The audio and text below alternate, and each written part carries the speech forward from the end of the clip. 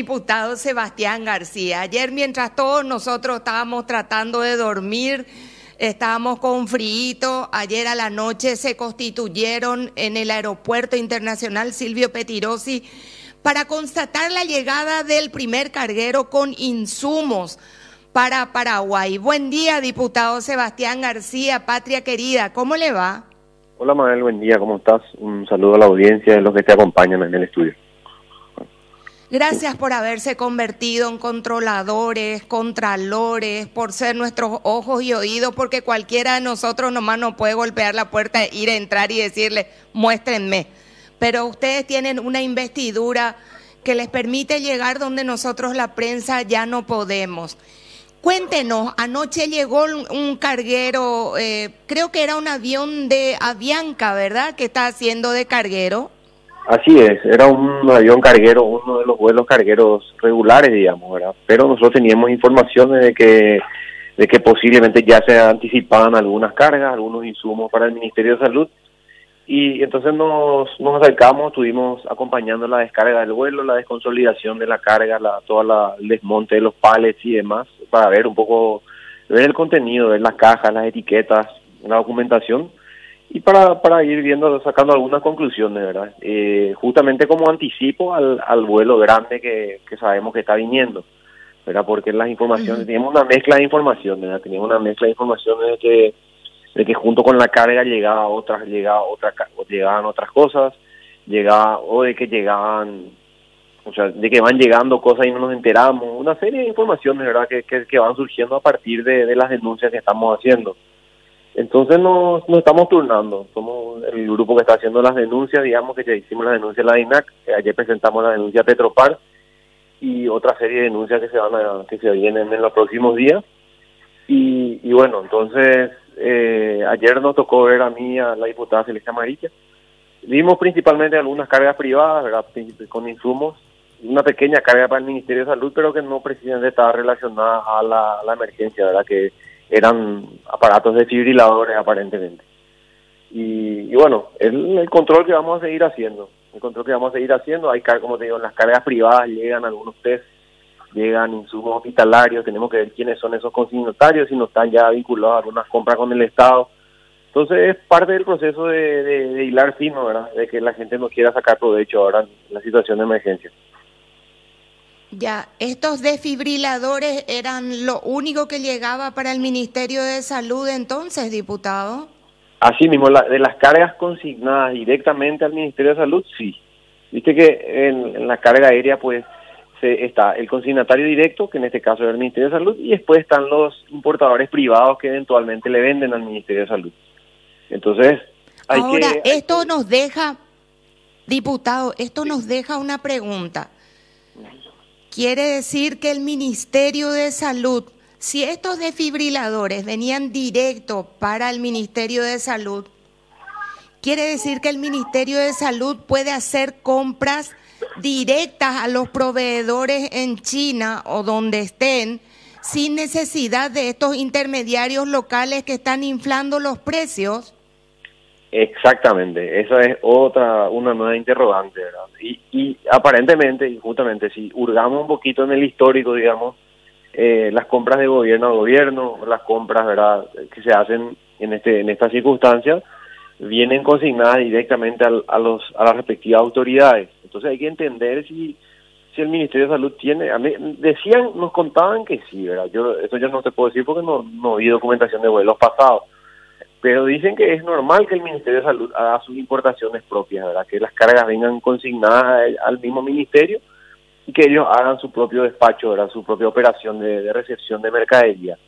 Entonces habría que ver por qué no lo hacen con, con regularidad, ¿verdad? Tienen el dinero, tienen la, la posibilidad de pagar, tienen la posibilidad de gestionar. Eh, entonces hay que ver, por, justamente hay que ver por qué eh, un importador privado trae, puede traer X número de cajas de test rápido de COVID y el y el Ministerio de Salud no, no puede hacerlo, ¿verdad? Eh, esas son la, las cosas que vamos a ir eh, vamos a ir hilando a partir de del detalle bien desglosado de la carga. Ya, y de, eh, o sea, ayer se ayer de noche se hablaba de unos 251 kilos o 256 kilos de insumos.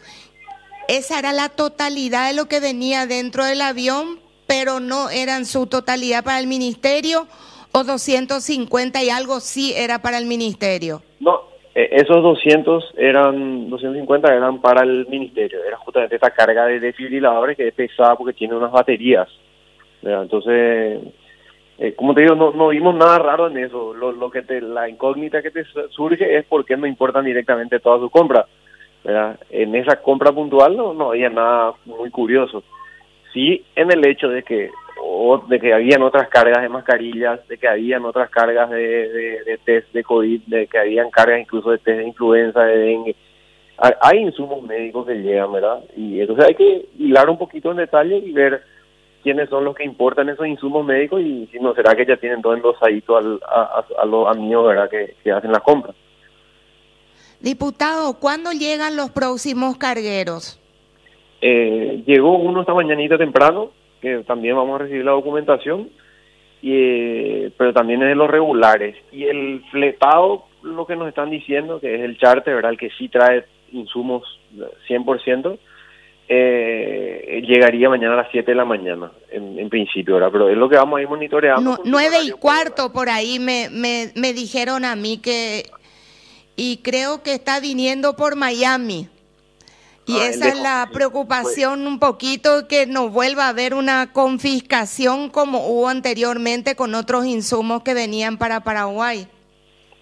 Y por eso hay que ver una serie de cosas. Hay que recordar que Miami, que muchos de los vuelos cargueros vienen de Miami, entonces que no haya algún cambio allá, ¿verdad? Algún cambio de vuelo, alguna carga sospechosa, algún cambio de, bodega, no sé. Eh, hay que eh, por eso hay que monitorear todos los vuelos y los que, de, los que los de antes y los que vienen los próximos días eh, y seguir de cerca. Porque porque evidentemente algunos creen que esta emergencia es una oportunidad para carnaval y todo lo contrario no les vamos a permitir, no se preocupe. Esta mañana temprano creo que el anuncio que hace la presidencia va a ser un freno muy importante. Todas las compras tienen que ser eh, comunicadas a contrataciones, a Contraloría y a la Fiscalía. Van a tener que ser unos magos para disfrazar algunas cosas. Cote que hemos visto ya en este país que son expertos en disfrazar cosas, ¿verdad? Y en meternos eh, vaca por liebre, pero vamos a ver. Acá estamos listos para controlar, diputados, y les agradecemos a ustedes por eso también.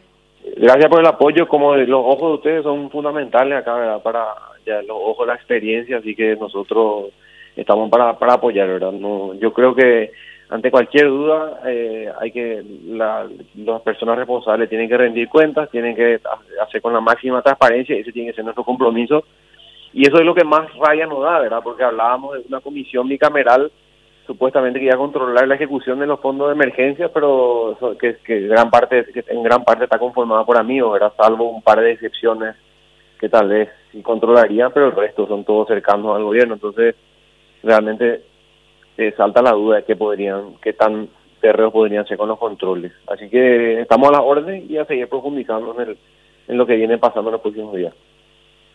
Todos juntos, que sepan que todos juntos estamos mirando cada centavo que se está gastando. Un abrazo, diputado. Gracias por el tiempo. Un saludo a las órdenes siempre. Muchas gracias. Gracias, señor.